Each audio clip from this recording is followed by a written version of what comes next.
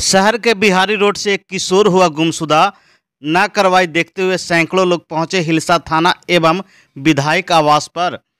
हिलसा थाना क्षेत्र के अंतर्गत लगातार गुमशुदगी का मामला बढ़ते जा रहा तभी तो ताज़ा मामला हिलसा सर के बिहारी रोड का है।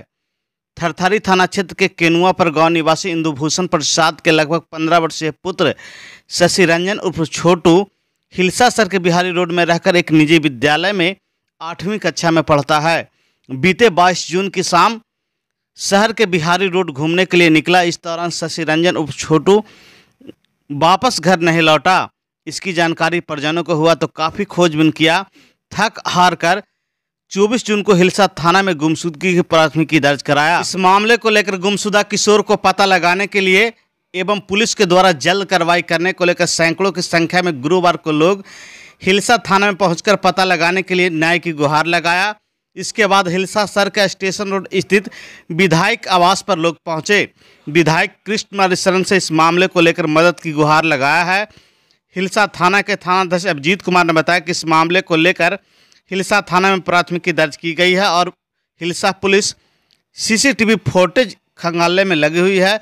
जल्द ही गुमशुदा किशोर को पता लगा लेगी। हम यही कहेंगे कि जिस तरीका से बच्चा छोटू नाम था और शशि रंजन दोनों वही व्यक्ति का नाम है। इस बच्चा को मेरा अनुरोध है कि थाना प्रभारी के यहाँ जो आवेदन 24 तारीख को दिया गया है, उसको जल्दी से जल्द से जल्द प्राथमिकी दर्ज कर और आगे बच्चा को खोजबीन किया जाए। और देखिए कि सारा लोग, सैकड़ों लोग जो हैं कि बीच में आपके सामने सब खड़ा हैं, पूरा किनुआ गाँव पर से लोग उठ के आए हैं और परिजनों के साथ में और परिवार जो संबंध हैं, वो वो लोग भी आए हुए हैं। सब आकर सब त्राईमाम त्राईमाम मांग कर रहे हैं कि किसी तरीका से बच्चा मिल जाए। कहीं ना कि कोई हो हो सका अनहोनी न हो जाए। इसके चलते सब परिवार चिंतित में है पूरे गाँव चिंतित में है। हाथ में जो तस्वीर है वो कौन है? बेटा मेरा।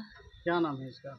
इसको छोटू कुमार नाम है। छोटी कुमार। छोटू कुमार या शशि रंजन भी नाम है दो नाम है इसको। शशि रंजन। हाँ। पिता का नाम? इंदु भूषण प्रसाद। घर? किनुआ पर केनुआ पर थाना? थरथारी। सरकारी हिलसा में आए हुए हैं। जी। ये घर है जो आप ही का है? नहीं मेरा घर नहीं। यहीं पे रहता था? जी हाँ यहाँ पर रहता था। हिलसा के बिहारी रोड में? जी। यहीं से पढ़ता था? हाँ यहाँ पर पढ़ता था। हिलसा थाना में गए थे आज? जी गए थे। नहीं कुछ